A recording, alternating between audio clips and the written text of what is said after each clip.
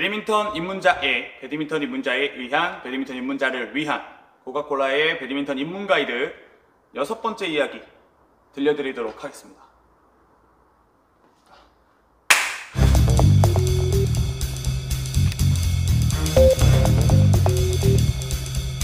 네 여러분 어, 부득이한 사정으로 여섯 번째 영상을 다시 찍는 거예요. 그래서 저번 주에 아마 일곱 번째 이야기가 먼저 업로드 돼서 조금 놀라셨을 수도 있는데 이 부분 죄송한 말씀 드리고요. 다 편집을 해놨는데 촬영 구도랑 그리고 제 상태가 조금 마음에 안 들어서 뭐 지금도 비슷하지만 다시 촬영을 하게 되었습니다. 오늘 여섯 번째 이야기에서는 배드민턴 라켓 수리 관련 그리고 수리 라켓 관련된 이야기를 들려드리려고 해요. 코카콜라가 직접 라켓 수리를 맡겼던 경험과 수리 라켓을 써본 경험을 여러분들에게 우리 입문자분들, 동호인 여러분들께 솔직하게 들려드리도록 하겠습니다.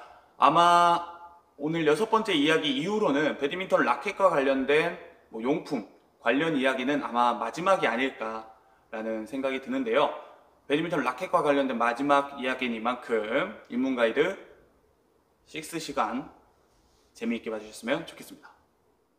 배드민턴을 치다 보면 뭐 상급자라든지 입문자라든지 똑같이 라켓이 부러지는 경우가 정말 많습니다. 다만 입문자분들이 이제 부러지는 횟수가 조금 더 많을 수도 있는데 그 이유가 뭐냐면 이제 배드민턴을 치다 보면 이제 경기에 들어가다 보면 셔틀콕과 라켓이 부딪히는 이제 삑사리 삑사리가 나서 라켓이 부러지는 경우가 또 많고요. 파트너와의 칼싸움을 통해서 부러지는 경우가 정말 많습니다.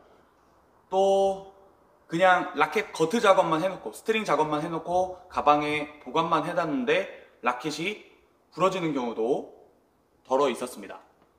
이렇게 라켓이 부러지게 된다면 이제 입문자 분들은 그러한 라켓들을 이제 버리시는 경우가 꽤 많을 거예요. 그런 파손된 라켓도 수리를 통해서 다시 재탄생을 시킬 수가 있습니다. 배드민턴 라켓도 수리가 가능해요. 코카콜라도 뭐 요즘 맡긴 건 아니에요. 배드민턴을 처음 시작하고 얼마 안 됐을 때 라켓이 부러진 경험이 있습니다. 그때 이제 청금 배드민턴 수리라는 라켓 수리를 전문으로 취급하는 업체한테 라켓을 맡겼었어요. 근데 이 청금 수리가 왜 배드민턴 동호인들 사이에서 유명하냐? 정말 놀라운 점이 두 가지가 있거든요. 첫 번째가 날림식 수리 라켓 같은 경우는 수리한 부위가 그냥 한 정도만 떠서 봐도 보여요. 정말 조금 진짜 조금 이렇게 말하면 안 되지만 대충 수리를 했다는 느낌입니다.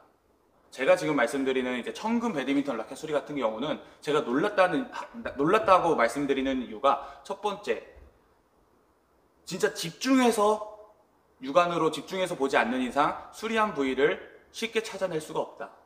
입니다. 첫 번째는.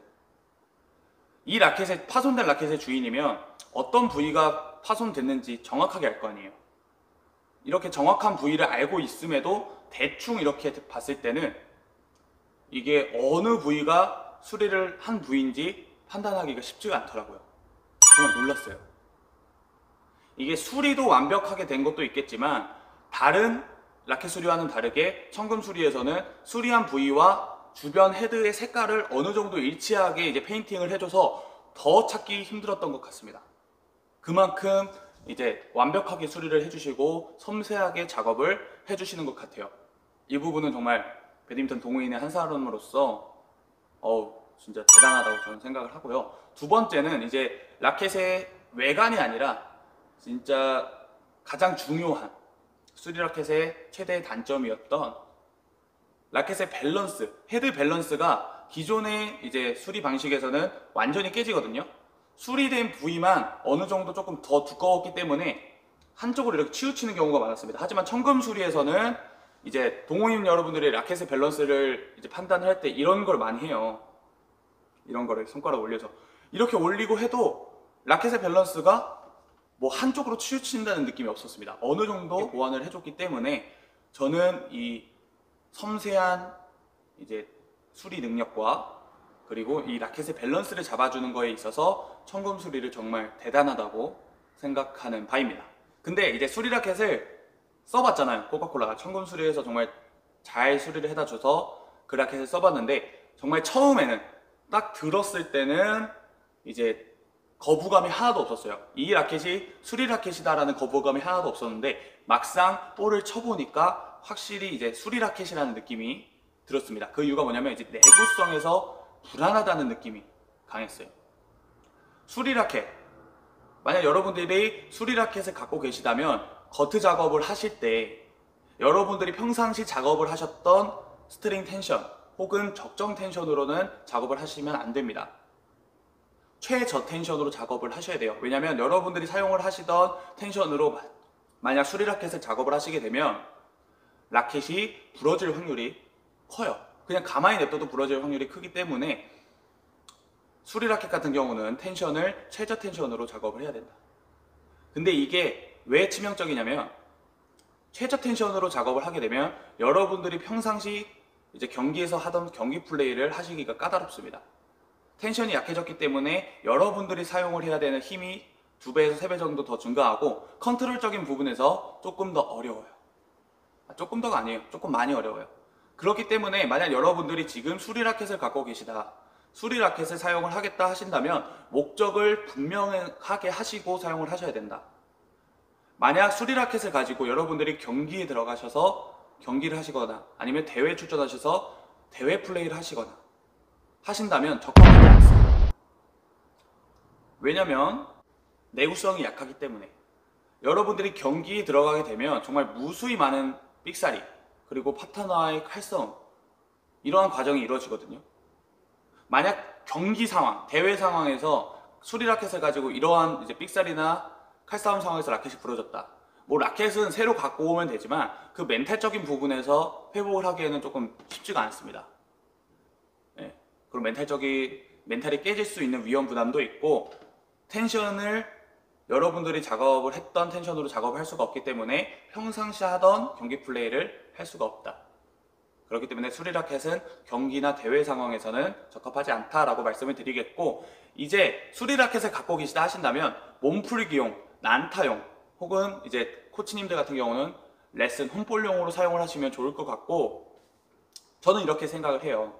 여러분들 자제분들 자식분들이 있으시면 자제분들 혹은 지인의 자제분들이 있다면 그분들 자제들에게 선물로 주는 것도 좋다고 생각을 하거든요. 그 친구들이 학교에 가면 무조건 배드민턴을 치게 됩니다. 근데 학교에 구비되어 있는 라켓 같은 경우는 솔직히 정말 안 좋아요. 무겁고 그리고 뭐 그립도 제대로 안 되어 있고 이제 T 조인트 부분이 이제 일체형이 아니라 분리형이기 때문에 치다가 부러질 확률도 정말 많습니다. 막 치면 머리만 날아가고 손잡이만 날아가고 이런 경우가 많았을 거예요. 우리 동호인 여러분들 한 번쯤 있으셨을 겁니다. 그러한 친구들에게 수리 라켓 줘서 치라고 그러면 어 정말 좋죠. 수리 라켓은 그런 용도가 딱 좋은 것 같습니다. 진짜 자식들에게 학교 가서 배드민턴 칠 때 써라. 이런 용도 혹은 이제 동호인 여러분들은 몸풀기 용도로 사용을 하시는 게 가장 적합하다라고 생각을 합니다. 어느 정도 동의하시죠? 근데 제가 앞에서부터 계속 말씀드린 수리 라켓을 갖고 있을 경우에는 이러한 용도로 사용을 드리는 걸 추천드리겠지만 만약 현재 배드민턴 상황 시장에서 여러분들이 지금에서야 수리를 맡기고 싶다 하신다면 코카콜라는 권유드리지 않을 것 같아요. 굳이 지금 수리를 맡기겠다고? 수리 라켓을 만약 지금 맡기시겠다 하시는 분들은 유형이 몇 가지가 있는 것 같아요. 그 라켓이 이제 정말 소중한 라켓이거나 여러분들이 처음 시작할 때부터 사용하던 라켓이기 때문에 어느 정도의 의미가 있는 라켓 같은 경우는 수리를 해야겠죠. 당연히. 혹은 이 라켓을 더 이상 구할 수 없는 모델이거나 그래서 소장을 하고 싶다 하시면 수리를 하셔야겠죠. 저 같아도 이제 우리 국내에서 단종된 모델 같은 경우 그런 라켓들은 수리를 해서 소장을 할 것 같습니다. 다만 여러분들이 경기에서 혹은 그냥 플레이할 때 사용을 하기 위해서 수리 라켓을 지금 수리를 지금 맡기시겠다 하신다면 솔직히 권유드리지는 않을 것 같아요. 네. 이제 수리하는 게 정확하게 기억이 잘 안 나는데 뭐 택배 배송비랑 거트 작업하는 거 포함해서 아마 2만 원에서 3만 원 가격대였던 것 같아요. 정확한 가격은 제가 여기다 남겨놓을게요. 한 3만 원 정도의 가격대였는데 솔직히 이 3만 원에다가 요즘 배드민턴 이제 시장 같은 경우에는 한 8만 원 정도만 더 추가를 하시면 요넥스 빅터 선수용 라켓 새 상품을 구매를 할 수가 있어요. 할인 이벤트를 너무 많이 하기 때문에 그런 라켓들을 구매를 할 수가 있습니다. 8만 원 정도 더 붙이면. 혹은 정말 여건이 안 되셔서 수리를 맡기시다 하시는 분들은 만원 내지 2만 원 정도를 더 추가를 하셔서 상태는 안 좋겠지만 경기에서는 사용할 수 있는 이제 C급 이제 중고 라켓을 구매를 하시는 게 더 낫다. 더 좋은 방법이 아닌가라는 생각을 합니다. 수리 라켓은 경기에서 사용할 수 없지만 중고 라켓 같은 경우는 상태는 안 좋아도 경기에서 사용할 수 있을 만큼 더 안정적입니다. 뭐 도장, 페인트가 다 까져 있을 수는 있어요. 하지만 수리 라켓보단 내구성적인 면에서 안정적이기 때문에 중고 라켓을 구매를 하시는 게 더 좋은 방법이다. 하나의 방법을 추천해 드리겠고요. 코카콜라가 앞에서 여건 말씀드렸잖아요. 코카콜라도 학창 시절에 맡겼다 그랬잖아요. 그때 맡긴 이유가 뭐냐면 제가 배드민턴 동호회 활동을 하는 거를 부모님한테 속였어요. 그냥 진짜 공원에서 한두 번 치는 걸로 알고 계셨을 거예요. 이렇게 철저하게 배드민턴 생활을 하신 거는 잘 모르셨을 겁니다. 이제 추후에 정확하게 아셨을 텐데 제가 부모님 몰래 운동을 했기 때문에 뭐 지원을 못 받죠. 배드민턴 금수저 부모님하고 같이 치는 애들이 금수저고 저는 흑수저였습니다. 이제 부모님들에게 지원을 못 받아서 배드민턴 라켓을 치다가 부러졌어요. 진짜 그때는 멘탈이 완전히 산산조각이 났습니다. 지금도 뭐 부러지면 산산조각이 나지만 라켓이 부러졌을 때 중고 라켓 혹은 새 라켓을 구매할 여건도 안 됐고 근데 배드민턴은 치고 싶고 그래서 가장 저렴하게 겨- 경기용 라켓을 구할 수 있는 방법이 이 부러질 라켓을 수리를 맡기는 방법밖에 없었습니다. 그래서 저도 수리를 맡겼던 거거든요. 그리고 이제 또 이제 조금 번외 얘기인데 손잡이 같은 경우는 수리하기 쉬워요. 손잡이가 나무로 되어 있잖아요. 라켓 손잡이가 나무로 되어 있기 때문에 파손이 되는 경우가 정말 많습니다. 손잡이가 부러질 경우에는 그냥 주변 배드민턴 샵에다가 맡기시면 2만원? 15,000원 정도면 그래도 일주일 안에서 2주일 정도면 수리를 해다 주시기 때문에 손잡이 같은 부분은 파손돼도 걱정을 하실 필요가 하나도 없어요. 그- 저 같은 경우는 이제 손잡이, 라켓이 오래되면 손잡이는 안 부러져도 약간 교체를 하는 경우가 많아요. 이게 치다가 부러질 바에는 그냥 단단하게 사용을 하겠다라는 생각으로 수리, 손잡이 수리는 자주자주 하는 편이고요. 또 이제 가장 치명적인 샤프트가 부러지는 경우가 정말 많습니다. 저 같은 경우도 정말 여러 번 있었는데 샤프트가 부러지면 우선 그 라켓은 더 이상 못 쓰는 중고 라켓도 안 되고 수리도 안 되는 더 이상 못 쓰는 라켓이기 때문에 만약 그 라켓이 이제 조금 이름 있는 라켓이다 하시면 본사에 전화를 하셔서 샤프트가 부러졌다 라켓 문제가 아니냐 나는 아무것도 한 것도 없다 그냥 클리어나 스매시를 쳤는데 부러졌다 이렇게 말씀을 하시면 어느 정도의 조치를 취해 주실 겁니다. 만약 이렇게 조치도 안 취해 주시면 그런 라켓들 같은 경우는 그냥 버리셔야 돼요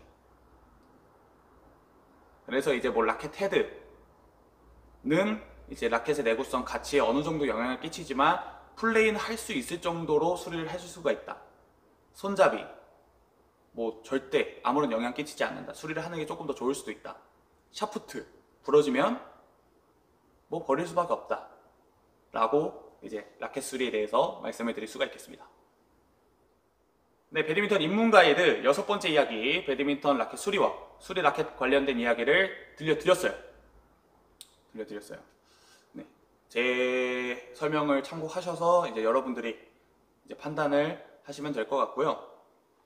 이제 입문 가이드 여섯 번째 시간까지 왜 배드민턴 라켓 이야기를 주구장창 드렸냐면 코카콜라가 입문자 시절에 정말 용품, 배드민턴 라켓에 관심이 너무 많아서 너무 많아서 이제 여러 가지 정보를 찾으면서 못 찾은 정보도 있고 궁금했던 정보도 있었기 때문에 입문 가이드 여섯 번째 시간까지는 저희 입문자 시절의 생각을 하면서 준비를 했던 것 같아요.